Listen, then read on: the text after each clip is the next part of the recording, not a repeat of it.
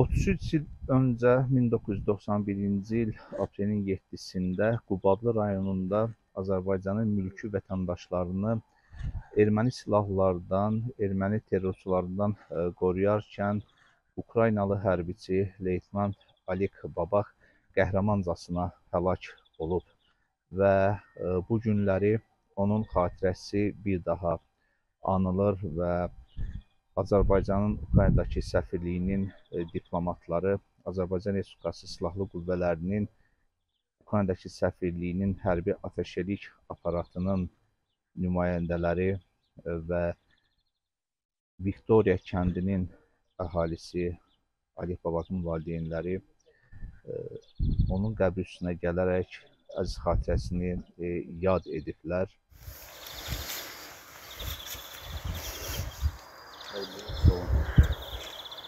Очень благодарны вашему государству за оказанные нам Oleg помощь. Babakın xatirəsi Azərbaycan xalqı tərəfindən həmişə əziz tutulur, yad edilir. Azərbaycan dövləti bizə hər zaman yardım göstərir. Bu bizə yaxşı yaşamağa kömək edir. Bizi unutmadığı üçün Azərbaycan dövlətinə За təşəkkürümü оказанную bildirirəm. помощь. И мы очень-очень благодарны всем.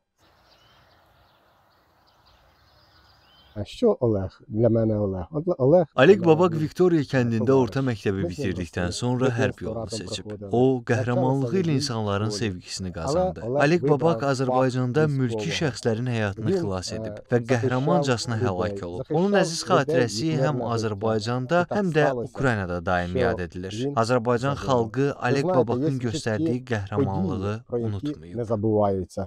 І це саме подія. Це пам'ять про Олега Бабака, про його подвиг. Вічна пам'ять йому. Герої